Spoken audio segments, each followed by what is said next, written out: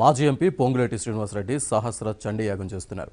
ఖమ్మం జిల్లా కల్లూరు మండలం నారాయణపురంలో ఈ యాగం నిర్వహిస్తున్నారు. తెలుగు రాష్ట్రాల రాజకీయ ప్రముఖులు ఈ కార్యక్రమానికి హాజరయ్యారు. ఇప్పుడు ఆ కార్యక్రమానికి సంబంధించిన విశేషాలు చూద్దాం. కల్లూరు మండల్ ఖమ్మం జిల్లాలో మా స్వగ్రామంలో మొదటి రోజు ఈరోజు సహస్ర చండీ యాగంలో భాగంగా భక్తులు శ్రద్ధతో ఆ అమ్మవారిని ప్రార్థిస్తూ వారి కుటుంబాలతో పాటుగా రెండు తెలుగు రాష్ట్ర ప్రజలు సుఖ సంతోషాలతో ఉండాలని ఏదైతే కోరుకున్నారో తప్పకుండా అమ్మవారు వారి కోరికలన్నీ నెరవేరుస్తారని ప్రగాఢంగా నేను నమ్ముతున్నాను. భక్తి శ్రద్ధలతో వారి కుటుంబానికి కోరిన కోరికలు కూడా నెరవేరుతాయి.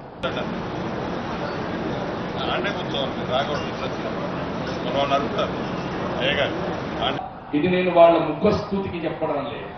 బ్రహ్మ సంసది ఎందుకు చెప్తున్నాను ఇక్కడ అంటే దయా అనే టికానికి పాండిత్యానికి తపస్సుకు ధనస్సుకు అయిష్టానికి దప్చారం కాదు. దయనే పరమావధి అన్నాడు ఆదిశంకరుడు. అందుకోసం భూత దయాంబిస్తారయ అది లేకుంటే మన ఉపాసనలు వ్యర్థమని చెప్పినాడు అటువంటి దయావతి అమ్మ అన్నారు. దయమే పరమ కాష్టయ్యి ఉండాలి మనకు.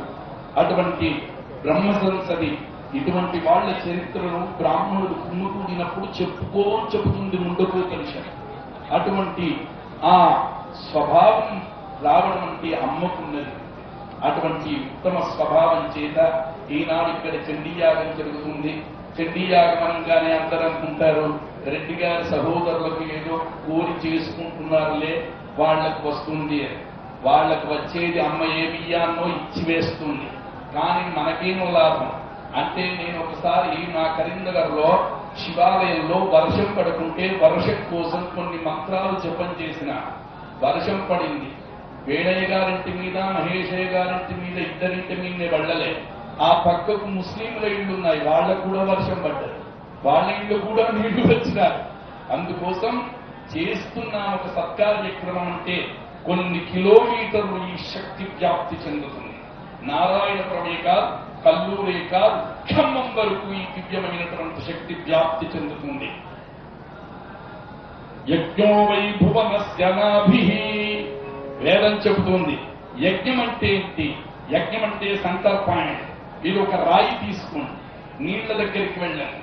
ఆ నీళ్ళలో ఒక రాయి విదరండి ఇట్లా సెంటర్లో విదిరితే ఏమవుతుంది? చుట్టూ తరంగాలు ఇట్లా వ్యాప్తిస్తారు యజ్ఞో వై భువనస్య నాభి. ఈ భూమి మీద యజ్ఞం అనేటువంటి సెంటర్ పాయింట్ నాభి బొట్టులో రాయి విసిరినట్టుగా అట్లా విసిరినప్పుడు తరంగాలు వ్యాప్తి చెందినట్టుగా ఈ సహస్ర మహాచండీ యాగం యొక్క వ్యాప్తి చుట్టుపక్కల సర్వులకు వీరికి వీరి అభిమానులకు వీరిని ద్వేషించే వాళ్ళకు కూడా మేలు జరుగుతుంది. అంటే వీళ్ళని ద్వేషించే వాళ్ళకు మీరెట్లా జరుగుతుందంటే చెప్తున్నాను. నరసింహస్వామిని ప్రహ్లాదుడు ప్రార్థిస్తాడు. స్వస్థస్తు విశ్వస్య. ఓ నరసింహ ఈ ప్రపంచానికి మంగళం జరగని అంటే నరసింహస్వామి అంటారు ఓరే ప్రహ్లాద అది కుదరదు అంటాడు. ఎందుకు కుదరదు స్వామి? అంటాడు. ప్రసిద్ధత. ఒరే నాయన ప్రపంచం అంటే రెండు రకాలు ఉంటాడు మంచివాడు చెడువాడు. అందరికీ మంచి జరగాలంటే చెడువాడికి ఖుషి జరగడం అంటే వాడు దుర్మార్గం చేస్తే వాడికి మంచి ఆనందం కలుగుతుంది.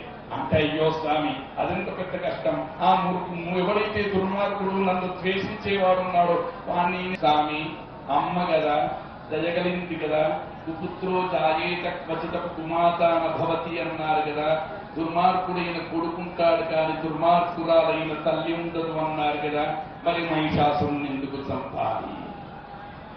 అమ్మ ఉన్మేషమిషోత్పన్న ఉపన్న భువనావళి. లలితలో చెప్తారు అమ్మ కన్ను మూస్తే ప్రళయం కన్ను తెరుస్తే సృష్టి జరుగుతుంది. అటువంటిది మహిషాసురుడు రావణాసురుడు ఇంత- ఇట్లా నరుస్తే చచ్చిపోయేట్టువాడు. అమ్మ ఎందుకంటే దాన్ని చంపలేదు. శస్త్రభూతా అమ్మ ఇంత యుద్ధం ఎందుకు చేసింది అన్నారట. అమ్మ ముట్టుకున్న శస్త్రం వారికి తగిలితే వాడు పవిత్రుడైతాడు అని సప్తశతి చెప్తుంది. అందుకోసం యుద్ధం చేసిందట. లేకుంటే యుద్ధమా? అక్కరణ ఆమె దివ్య తేజస్సు మీద మిడతలే మలమల మారిపోవలసిన మహిషాసురుడు అమ్మతోని అంత యుద్ధం చేసినారంటే శస్త్రభూత అమ్మ ముట్టుకున్న శస్త్రాన్ని వాళ్ళకు తగిలినప్పుడు ఎట్లానైతే సాకాలటి భక్తునితం దురోతు అంటారు చంద్రశేఖర భారతి మహాస్వాముల వారు Thank you.